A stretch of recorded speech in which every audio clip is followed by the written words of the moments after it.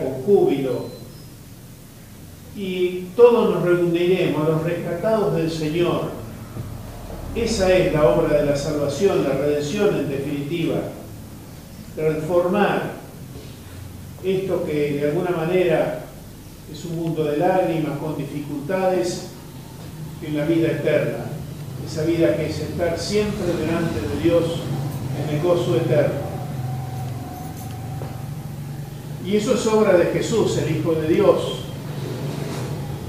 Y la Santísima Virgen María tiene una parte realmente maravillosa en esto. Ella, que como lo leíamos en el Salmo y lo repetíamos, el Señor hizo maravillas, gloria al Señor.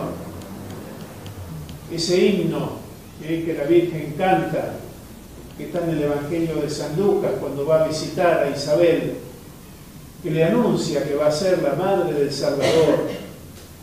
Y, tiene también estas cosas tan lindas que Dios desplegó, dice, la fuerza de su, de su brazo y dispersó los soberbios de corazón.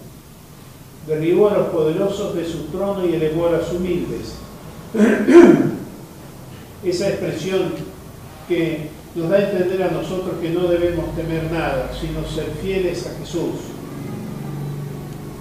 Y una pintura de un modo de la fidelidad nuestra, en definitiva también, es el Evangelio. Es ese momento supremo en donde el Señor entrega su vida, Virgen como buena mamá que es, va a interceder siempre ante nuestro Padre Dios para que nos conceda aquello que sea mejor para cada uno de nosotros.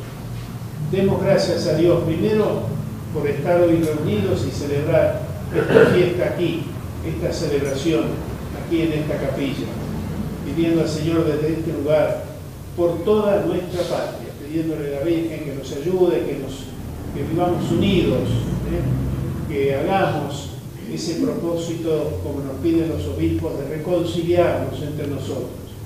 Pidamos al Señor también, y lo vamos a pedir en la misa, por todas las intenciones particulares de cada uno de ustedes.